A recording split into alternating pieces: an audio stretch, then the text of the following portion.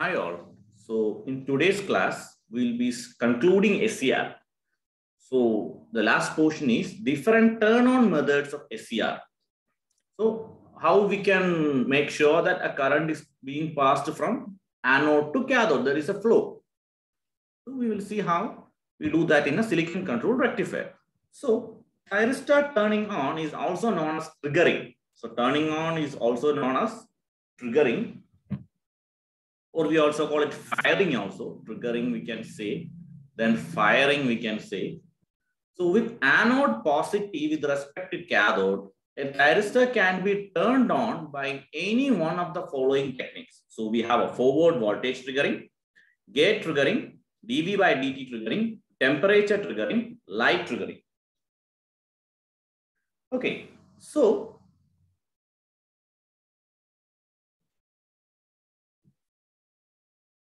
So now we will see uh, all the methods one by one. So basically what we do is, so you know the basic structure of SCR, right? So you will be having a PN, PN, PN junction. So this will be the gate. And now you have the supply given yes That is uh, positive anode will, uh, will be forward bias and this will be this also will be forward bias P to P end to end, right? So this is the anode and this is the cathode and you have J1, J2 and J3. So J1, J3 are forward biased.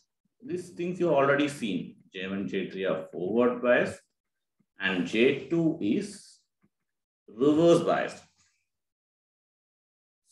When we talk about forward voltage triggering, when breakover voltage VBO across a thyristor is exceeded then the rated maximum voltage of the device, thyristor is turned on, turned on, right? So because J2, J2 will be the depletion layer because it is reverse bias and width of the depletion layer decreases with increase in anode to cathode voltage. So in this case, this is a forward voltage triggering. So when J1, J3 is forward bias, the depth of J2, that is the depletion region will decrease. So at the breakover voltage, the value of the thyristor anode current is called the latching current IL. Breakover voltage triggering is not normally used as a triggering method and most circuit designs attempt to avoid its occurrence. So forward voltage triggering is not normally used. When a thyristor is triggered by exceeding the VBO, the fall time of the forward voltage is quite low. However, a thyristor switches faster than VBO turn on than with the gate on. So permitted DI dt for breakover voltage turn on is lower. So, so what we are actually doing is width of the depletion region decreases with increase in anode to cathode voltage because P and N junctions, J1, J3 are forward biased. This accelerates the minority carriers across J2 and as a result, avalanche breakdown of J2 occurs at a particular anode to cathode voltage, which is called the forward breakover voltage. This allows free movement of carriers across the three junctions as J1 and J3 are already forward biased. So J2 is the depletion region. So decrease in the width of the depletion region due to the forward bias P, J1 and J, J3. And as a result, avalanche breakdown occurs and current will start flowing. So this method is not normally used. So gate triggering is the most widely used method. Okay, so what we are doing is we are providing a gate pulse.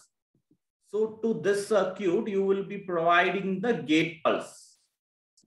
Gate pulse will be provided. So gate pulse will be provided. So this is gate and gate current IG will be provided. That is, turning on of thyristor by gate triggering is simple and efficient method of firing the forward bias SCRs. In gate triggering, thyristor with forward breakover voltage higher than the normal working voltage is chosen. This means that the thyristor will turn, remain in forward blocking state with normal working voltage across the anode and cathode with the gate open. So that is the forward blocking state. So whenever thyristor turn on is required, a positive gate voltage between gate and cathode is applied. So I have shown you the figure. With gate current established, charges are injected into the inner P layer and voltage at which forward breakover occur is reduced. So charges from the N layer electrons that will move to the P layer. When the gate pulse is applied to the P, applied to the P layer, that P layer is flooded with electrons from the cathode because the cathode N layer is heavily doped compared to P layer. So these layer, these electrons reaches the junction J2 and as a result, width of the depletion layer of J2 decreases. That's what the same thing I have written here. Higher the gate current, lower is the forward breakover voltage. When positive gate current is applied, Gate P layer is flooded with electrons from cathode as cathode of N layer is heavily doped as compared to the gate P layer. As the thyristor is forward biased, some of these electrons reaches junction J2. As a result, width of the depletion layer around J2 is reduced. This junction J2 to break down at an applied voltage lower than the forward breakover voltage VBO. If magnitude of the gate current is increased, more electrons will reach junction J2 Thus, thyristor will get turned on at a much lower forward applied voltage. That's the advantage of using gate triggering. This is the most widely used. And now we will talk about dV by dt triggering. So, with forward voltage across anode and cathode of a thyristor, two outer junctions A and C are forward biased. That is J1, J3, they are forward biased, but the inner junction J2 is reverse biased. The reverse bias junction J2 behaves like a capacitor because, the space, because of the space charge present there. As PN junction has capacitance, so larger the junction area, the larger the capacitance. If a voltage ramp is applied across the, across the anode to cathode, a current will flow in device to charge the device capacitance according to the relation. You know, IC is equal to D into C into dV by dt. Before that, you know, I is equal to dq by dt and q is equal to cv. So c into dv by dt. Okay, so with increase in the rate of change of voltage, if the rate of rise of forward voltage is high, IC will be more. This charging current plays the role of gate current IG. This turn on the SCR even, with, even when IG is equal to zero. Okay, so capacity effect is coming. Density of moving carry, uh, charge carries in the device induces switch on. So higher dV by dt, higher IC. This method of triggering is not desirable because high charging current IC may damage the thyristor. That's why we give an external gate triggering. And now we talk about the temperature triggering, which is also not preferred. During forward blocking, most of the applied voltage appears across the reverse bias junction J2 this voltage across junction J2 associated with leakage current may raise the temperature of this junction. With increase in temperature, leakage current through junction J2 further increases. This cumulative process may turn on the SCR at some high temperature. High temperature triggering may cause thermal runaway and is generally avoided. That is what we call temperature triggering. So, and the last method is light triggering. So when we are giving the photons to the light rays to the P region. In this method, light particles are made to strike the reverse bias junction, which causes an increase in the number of electron hole pairs and triggering of the thyristor. For light triggered SCRs, a slot is made in the inner P layer. When it is irradiated, free charge carriers are generated just like when gate signal is applied between gate and cathode pulse light of appropriate wavelength is guided by optical fiber. So what actually is having a small opening in the inner P layer. You can see a small opening in the inner P layer. Light rays with appropriate wavelength and intensity are allowed to strike J2 through this opening. So this is actually called LASCR. That is light activated SCR. Here, additional electron hole pairs are generated at J2, which provides additional charge carriers at junction and leads to turn on the SCR. If the intensity of this light thrown on the resistors exceeds a certain value, forward biased SCR is turned on and it is called light activated SCR. So light triggered thyristor is most used in HVDC transmission system, high voltage DC transmission system. So I hope that all the four methods all the four methods, that is forward voltage triggering, gate triggering, dV by dt triggering, temperature triggering, and light triggering is clear for you. So this, is, this can be a five to eight marks university exam question. And so now I have talked to you about turning on the thyristor.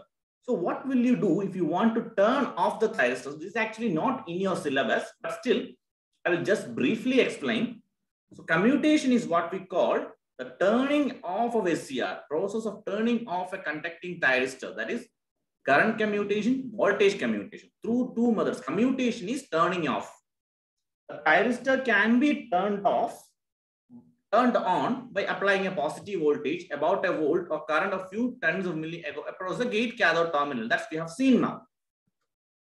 But SCR cannot be turned off via the gear terminal. It will turn off only after the anode current is negated either naturally or using forced commutation techniques. These methods of turn off do not refer to those cases where the anode current is gradually reduced below holding current level manually or through a slow process.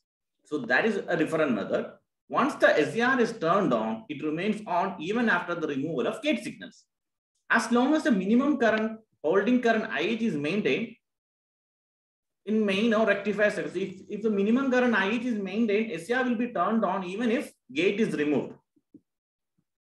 So in all practical cases, you have to, you have already studied the switching chiara. You can refer to my previous videos. Switch on and switch off chiara I have already explained to you. A negative current flows through the device. This current reduces to zero only after the reverse recovery time, TRR, when SCR is said to have regained its reverse blocking capacity. So you can see TRR here and the voltage is negative, negative current actually. So the, the device can block a forward voltage only after a further TFR, that is forward recovery time. Consequently, the SCR must continue to be reverse biased for a minimum TFR plus TRR that is equal to TQ, that is the turn off time. Okay, so recombination time plus reverse recovery time already you have seen. So you can, you can refer that video. So this slide is actually I have explained through another video. So the external circuit must therefore reverse bias SCR for a time T off is greater than TQ. Subsequently, the reapplied forward bias voltage must rise at a dV by dt less than dV by dt of the up, uh, reapplied rate. This dV by dt is less than the static counterpart. So basically just understand uh, how we are turning on, so turning off or doing the commutation. So in your syllabus, you have only turn on, but you have turn on and turn off chiara. Turn on method is there, but when you talk about switching chiara, this dynamic and stacking chiara, you have both turn on and turn off chiara to be studied. I have already explained this. So I hope uh, it's clear for you. Different types of turn on methods of SCR, that is silicon control rectifier. Thank you.